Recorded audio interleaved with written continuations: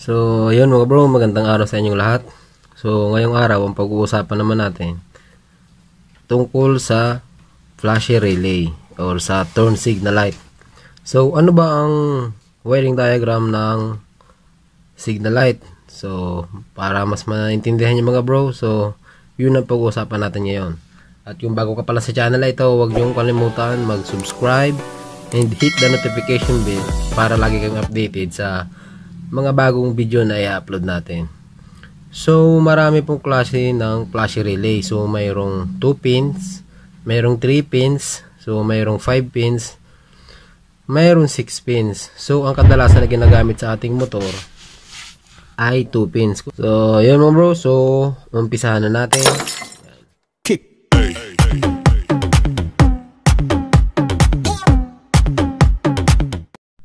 So, kung nakikita nyo mga bro, so, ganito ang itsura ng flashy relay pang motor.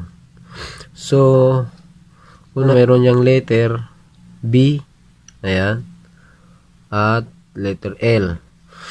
So, ang isa dito mga bro ay supply, so input at output. So, ito po yung dahilan kung bakit nagbi-blink-blink yung uh, signal light natin. So, isa ito sa mga dahilan. Pag halimbawa, yung signal light mo ay hindi na gumagana, so dito ko lang mag-check. So, possible, ito yung sira niya. So, pag nasira na to, so, yung signal light nyo, so hindi na siya magbi-blink-blink. So, pakita natin mga bro na supply natin na ang isa dito, signal light, ay, signal light. Yung isa dito, supply, tsaka output.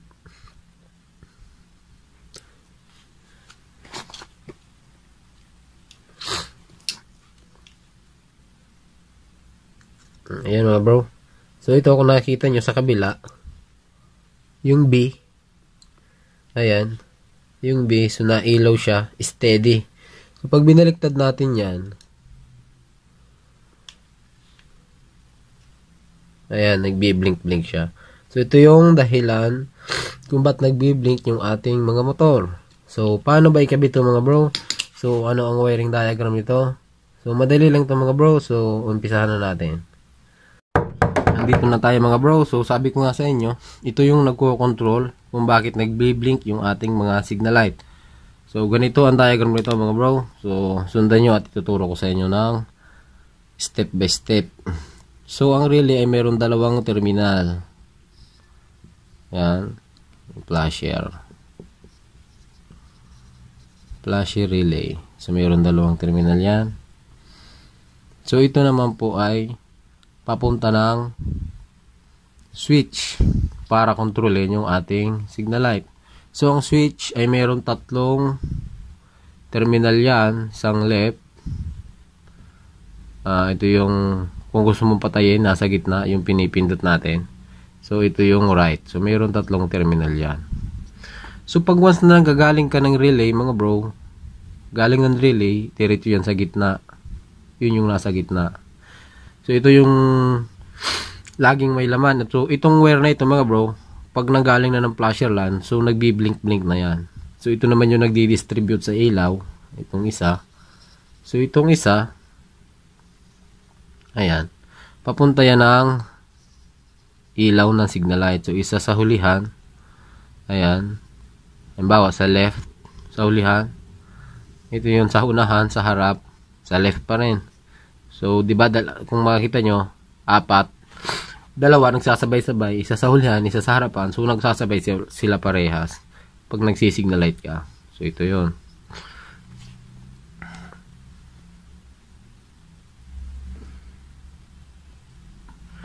At ito naman isa mga bro. Ito rin yung sa right. Ayan, right. Sa unahan. Right. Sa ulihan. Tapos ito, understood, ito ay body ground. So, body ground. Uh, left, left, right, right.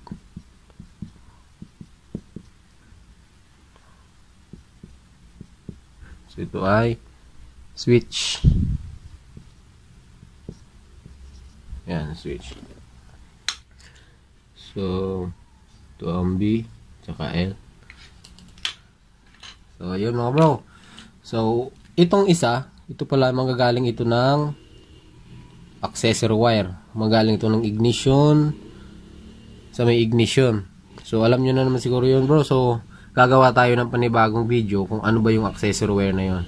So, pero ito po ay nanggagaling. So, pag once na sinusiyan nyo yung motor nyo, So, itong isang wire na ito, so nagkakaroon na to, to from from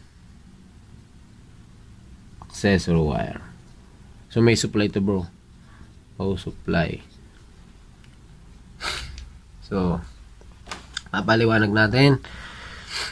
So, ito mga bro, yung flasher natin. Ito. Ito yon Tandaan nyo, so, alam ko hindi lahat ng tao so marunong magbasa ng wiring diagram. So gagawin ko ang best ko mga bro so para maintindihan nyo to. Kasi mga bro pag once na naintindihan nyo to so napakadali lang i troubleshoot sa inyo kung wala kayong signal light. So kasi ito lang yung i-check na wala na akong ibang gagalawin. Pag once na nawalan kayo ng signal light so sundan nyo lang mga bro. So unang una ito yung relay natin so ito yon so mayroon yang B tsaka L So, ayan. So, ang B, ang supply. O ang input. So, yan, lalabas siya dito. Ang output niya ay L. So, pag ito, so, hindi pa ito nagbi-blink, mga bro. So, pag lumabas siya dito sa L, sa terminal niya, ito, nagbi-blink na. Yung wire na ito, so, nagbi-blink na ito. Ngayon, didiretso sa sa switch, mga bro. Sa switch, so, ang nangyayari, ito sa switch, ito halimbawa, ito yung off mo. So, pag pinindit mo yung left, so, itong nagbi-blink, so, mag, i-transfer niya dito, sa wire na ito, tatransfer niya, pupunta ngayon dito sa ilaw at magkakaroon to ng supply, so, magbi-blink siya. So, ganun yun mga bro. So, vice versa, sa kabila, pag pinatay mo, mamamatay. So, pag right, turn signal light, so, ito naman na magkakaroon ng supply. So, ngayon mga bro, halimbawa na walang kayo ng signal light. So wag muna kayo magpapalit ng relay kasi maraming possible na sira yan. Malay nyo, nag-lose connection o lose contact yung mga switch nyo kasi nangyayari yon So ngayon, ang bibigyan ko kayo ng mga sunod-sunod o mga step by step na gagawin nyo pag nawalan kayo ng signal light. So unang-una mga bro, ito understood negative side or ground ground ng ilaw. Kasi dalawa lang naman ang terminal ng ilaw mga bro ng ating signal light. So ang gawin nyo muna mga bro susupplyan nyo ito ng 12 volts. Dito mismo sa terminal o mas malapit na wire dun sa signal light. So kumuha kayo ng wire i-splice nyo dito at kumuha kayo ng 12 volts na positive sa battery. So, susuplayan nyo to. So, dapat na mangyayari, pag sinuplayan nyo to, so, iilaw dapat itong ilaw na ito. Kasi itong mga bro, mahaba ang trinabil ng wire na ito kasi papunta sa likod yan eh. So, pag once na umilaw to, pero dapat nga magsasabay itong isa eh. Magsasabay yan mga bro dapat. So, pag sinuplayan nyo to, manggagaling ng 12 volts, kumuha kayo ng wire na mahaba, susuplayan nyo ito. So, dapat nang mangyayari, iilaw tong ito kung ano sinusuplayan yung uh, ilaw ng signal lights. So ngayon, pag hindi nagsabay ito mga bro, possible uh, putol yung wiring nyo or busted na yung isang ilaw. So para mas ma ano mga bro, malaman nyo kung busted na talaga. So itong supply nyo dito, ilipat nyo dun sa kabila. Kasi pag once na nag-ilaw yan, parehas nag-ilaw, so putol yan yung wiring nyo. So magkadugtong naman kasi yan kung nakikita nyo. Ayan, so magkadugtong yan. So, yun mga bro. Ngayon, sa kabila ulit, ganun din ang proseso. So, supplyan nyo to ng 12 volts manggagaling. Sa 12 volts ng battery, so dapat mag-iilaw siya. Ganun din sa kabila. So, pag once na, halimbawa, nag-ilaw, so ibig sabihin, hindi busted. Hindi busted yung signal light nyo. So, may problema tayo sa wiring. So, punta kayo ngayon, punta kayo ngayon dito sa punta kayo ngayon dito sa uh, switch. So, testing ay itry nyo yung continuity nito Ayan, continuity ng wire na ito, magkabilang dulo, kung mayroon pa ba. At ganun din ito. So, sumunod mga bro, pag na-test nyo yung switch, yung continuity nyo, yung contact niya, kung maayos pa, so punta kayo dito ngayon sa relay. Punta ka ngayon sa relay. Kasi baka magpalit agad kayo ng relay, hindi nyo alam. Sa wiring lang para kayo may sira. So, ang gawin nyo mga bro, kumuha kayo ng test light. Ayan.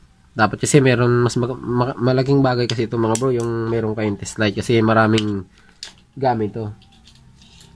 Pag wala kayong tester, pwede rin naman multimeter, pwedeng tester. Kasi tester, mag, maano mo to, yung tester papalo-palo lang yun. No? Tataas yung voltahe, bababa, ganun yun. So, i-test light nyo to mga bro. Ayan. So, dapat, nagbi-blink yan. So, do, unahin nyo muna doon mas malapit sa flasher dito. Nagbi-blink. Sumunod. So, pag nagbi-blink yan, ibig sabihin, maayos pa yung flasher relay mo. So, i-test mo ulit dito. Oh, dito sa may malapit sa switch.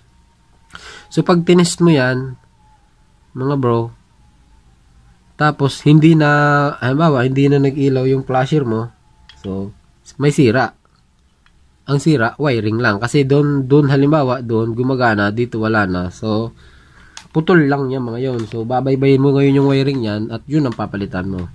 So, yun lang mga bro. Gano lang yung pag-troubleshoot ng signal light. Halimbawa, wala kayong signal light. So, kung titingnan mo, simpleng-simple lang naman ang wiring diagram ng signal light. Flasher, switch, tsaka yung ilaw niya. So, yun mga bro, kung mayroon kayong hindi naintindihan, so, huwag nyo kakalimutan, i-comment at sasagutin natin yan. So, yun mga bro, so, salamat sa panonood. Sana mayroon kayong natutunan.